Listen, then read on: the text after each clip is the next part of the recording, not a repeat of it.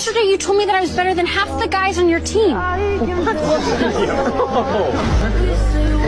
never said that. What are you talking about? Why are you lying? Well, end of discussion.